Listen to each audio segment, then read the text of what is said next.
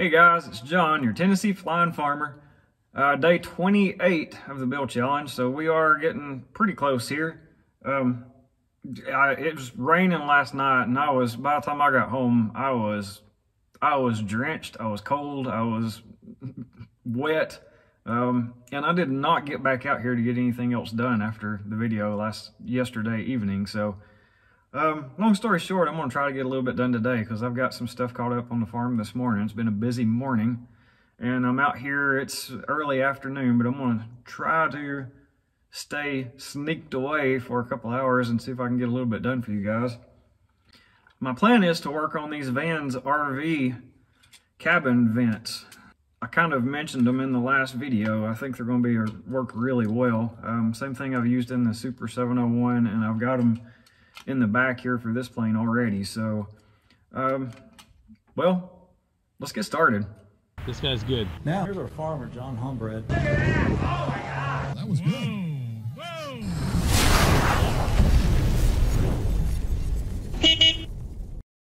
I'm sitting in the plane because I'm kind of trying to mock stuff up and figure out exactly how and where uh, airflow and that kind of stuff needs to happen. You guys know I'm getting I'm getting the glass for the doors without the holes for the window vents. So uh, do not plan, that's just going to be a, a, solid sheet. There's not going to be any holes at all in it. And I'm, I'm kind of looking forward to that because that has been a little bit of a distraction just, just to me with the Super 701. Anyway, when I remove those, I won't have any airflow coming from the outside edge of this plane inside during, you know, during the hot summer months, whatever. I've kind of got it covered from the center of the plane with these eyeball vents. And of course, I was kind of in the works trying to get the ducting to go out and around to them. But that's that's a challenge I'm going to pursue a little more as I get further along with the firewall forward stuff and make sure everything's going to fit.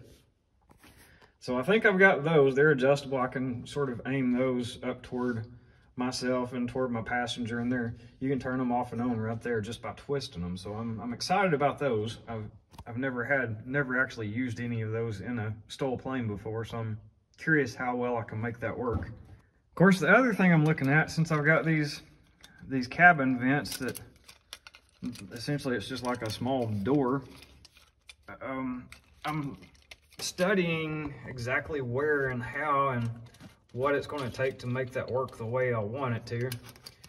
Trying to see how, how well it's going to fit, where I want to put it, and when I get it there, I'm kind of looking at what the airflow may do as it comes in. It'll all be all be underneath your your legs. And I think it'll come in underneath enough and probably with enough force and movement and rotation and all that stuff, it'll it'll most likely add some pretty decent ventilation in here for the summer months.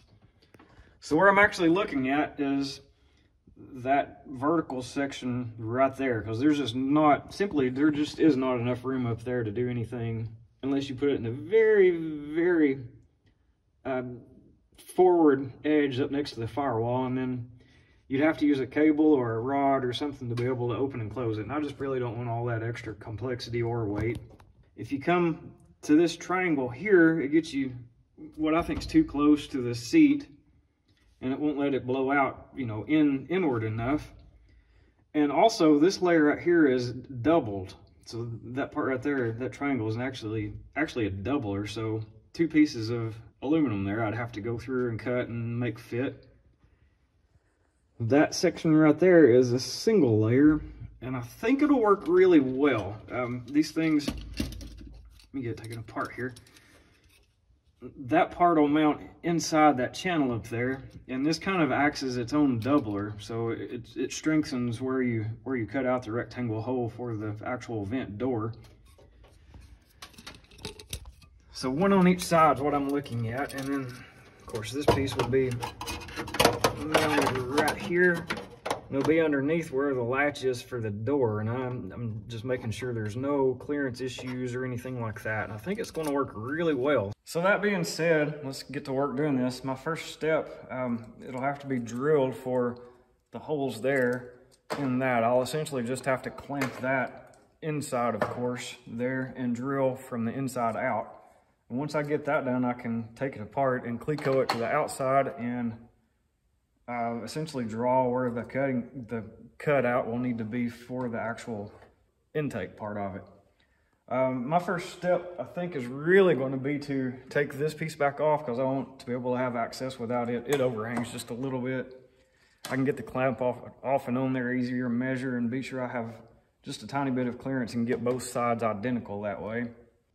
Now that I've got that very rough cut, I'm gonna start smoothing the edges and get it actual rectangle.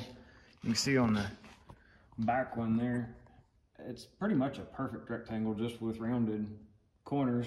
And that, that's what essentially matches the actual door. So the door just barely does recess into that on the, the plate that's behind it. So I'm gonna do the same thing right here. Well, this is actually pretty time consuming. It's not bad work. It's pretty easy, but it's just, it's time consuming. So basically what I'm having to do here, I've got the, the back plate and the little bracket that goes across it mounted on the inside. Um, I'm having to take a, well, the way I do it anyway, I've got a pretty rough round file and I marked the door on the back plate. So I got a base mark on this skin. And of course, without the back plate on there, I don't want to tear it up, but I've been using a file to get these corners filed closer to where they actually go. And then I'll take my, let me grab it here. Then I'll take my, my little belt sander and I run it across and get the edges back all lined up. Now that I've finally got it far enough along, I've got the door mocked up with the little bracket that goes on it, and it can actually go inside now. So it fits in there just like this, and I can, I, you have to be careful. I don't want to close it all the way because it's not trimmed hardly enough to not bind. But once I get it that far along, I can push it up there to where it where it's just beginning to bind and I can start working these edges and marking them around. And I've got this one far enough now that I was able to pretty much close it without it binding much. And I've been able to mark all the way around it. So now I can take the door back out and I can take the back plate off the back again. And I've got my little marks there around it so I can file that corner up into the corner with my round file. And I'll, I'll do that and then I'll show you what it looks like. So what you see here now is I've used my round file to essentially file out that corner up to the edge of my mark. And this file is roughly the same uh, radius as what the door is, the little door that fits inside that. The hole for this has to be just slightly bigger than what the door is and, and just barely enough clearance so it doesn't chip paint or something like that when you open and close it. And then the, the piece that goes on the back side, it essentially acts as a doubler to help strengthen all of this piece. Plus, it acts as the back plate that this door actually shuts against. So that's, that's what kind of creates the seal for it. So that being said, now that I've got the little notches there a little bit a little bit closer, you can see where it's it's closer to the line. I'll take my little belt sander, and this is what I was trying to show a minute ago. I'll take my belt sander, and I'll essentially just sand down through there from, from corner to corner and get that the rest of that line off. And I'll do the same thing going across the top to the back. And that should be getting really close. So once I get to this point, it's there's a lot of taking stuff on and off and on and off just because I want it to be I want it to be as close to perfect as it can get. And it, that's that's time consuming because you don't want to take off too much and have a big gap, but uh, it's, it's easy to go from not enough to too much, and that happens really quick. So you take off just a tiny little bit, and then you put it back on to, and check, and take it back apart, and just a tiny little bit more trimming, and then put it back on and check. So that's what I'm doing now, just on, off, on, off, trim, on, off, trim, that kind of stuff. Okay, I've got it to where it is actually completely recessed now. There's no, I mean, it's the same, basically the same thickness as the skin. The door has a little doubler too, but there's not even a step there. So it just ever so barely is completely recessed in there. What I have to do now, uh, the way this thing actuates and works, there's a bolt that goes through that. So when that slot, when that, here, let me get my camera steady here. When that slot opens and closes, that bolt keeps the door in, in position. So I need to get a, a bolt stuck through there and be sure the door swings. And what that'll do, I'll position, position it forward and back exactly where it needs to go. So right now it can, you can move it back and forth that way and it'll sort of open and close. See if I can get it actually out so you can see what I'm talking about. You can see a little bit of the, this, you see how the slot's not perfectly in line with the hole right there. So I need to put the, the bolt in it and be sure that the slot and the hole are, are exactly lined up and the full swing will work without causing any trouble or binding or anything like that. But that's the basics of it. This thing is, if once it's painted, uh, most people don't even notice it from the outside when it's closed because it's, I'll use the, the soft, solid rivets. Everything that's exposed will just be the, the small solid rivet heads. I'm excited about it because it's it'll be almost hidden once you get it all paint matched. The door will be up above it. My plan is to have essentially this trim piece will be painted black and I'll probably tape off a line underneath the door to match that black from the trim and bring that black on back around and, and toward the back of the airplane. And I may do the same kind of back there underneath the windows and kind of black out just a spot around the windows. So the, the door will actually be the, the second color of my two-tone. It'll be underneath the black stripe or the black cutout for the windows. And like I said, once it's painted, it'll be almost not even noticeable when it's closed. Most people will never even think about it. Okay, guys, the first one is basically done. I've got it really close. Let me turn this around. And it's still maybe just a little bit too tight in how it fits up, but it's it's really close to the way I want it. Um, as you can see when it's open, and I've got the, I've actually got the bolt stuck through it and all that, so it's all, all working really well.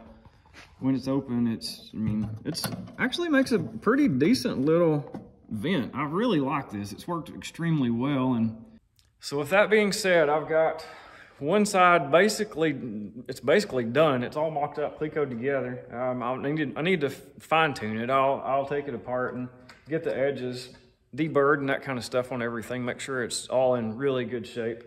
Haven't even started on the other side yet, so that may be a project for tomorrow. I've, I've run out of time today. This this takes actually takes a fair amount of time. It's like I said, it's not hard, but it takes a fair amount of time to get it done really nicely and professional looking. Um, that being said, like I like I just mentioned, I'm out of time. I've got to go back to the farm and catch some baby calves and deliver feed to cattle and uh, last minute checks for the day. And it's starting to get late in the afternoon. So, and I need to put the video together for you guys on this. I'll try to get that done too. So I don't know how much more I may or may not get done tonight. Uh, tomorrow's project may be part two, and that'll be door number two for the passenger side. So that being said, I'm headed to the farm. Again, I really appreciate you guys, the likes, comments, shares. Um, tell me what you think. I, we've just got a couple of days here left, so ask questions. Give me ideas of what you would like for me to maybe pursue or work on here in the next couple of days and talk about, and I'll try to make that happen. So again, I really appreciate you guys, and I'll see you tomorrow. Bye.